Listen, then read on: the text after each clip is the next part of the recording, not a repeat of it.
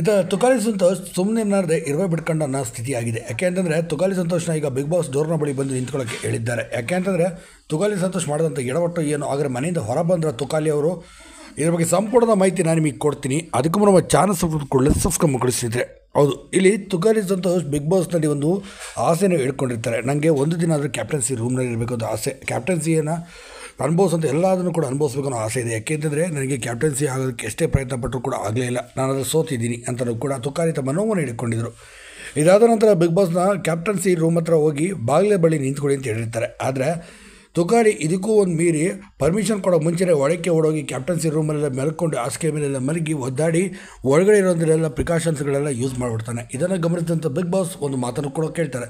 ನಿಮಗೆ ಒಳಗಡೆ ಹೋಗೋಕ್ಕೆ ಅನುಮತಿ ಕೊಟ್ಟಿದ್ದು ಯಾರು ಅಂತ? ಅಲ್ಲ ಬಿಗ್ ಬಾಸ್ ಡೋರ್ನ ಬಳಿ ಹೋಗಿ ಕೇಳಿದ್ರ ಅಂತಂದಾಗ, ಈ ಕೂಡಲೇ ನೀವು ನಿಮ್ಮ ಬಟ್ಟೆಗಳನ್ನೆಲ್ಲ ಪ್ಯಾಕ್ ಮಾಡಿಕೊಂಡು ಡೋರ್ನ ಬಳಿ ಬಂದು ನಿಂತ್ಕೋಬೇಕು ಅಂತ ಬಿಗ್ ಬಾಸ್ ಆದೇಶವನ್ನು ಮಾಡಿದ್ದಾರೆ ಅಂತ ಹೇಳ್ತಾರೆ. ಇದನ್ನು ಕೇಳಿದಂಥ ಇಡೀ ಮನೆ ಮಂದಿನೇ ಶಾಕ್ ಆಗಿ ಹೋಗಿದ್ದಾರೆ. ಅದು ಈ ಮೂಲಕ ತುಕಾಲಿ ಎಲಿಮಿನೇಟ್ ಆಗ್ತಾರೆ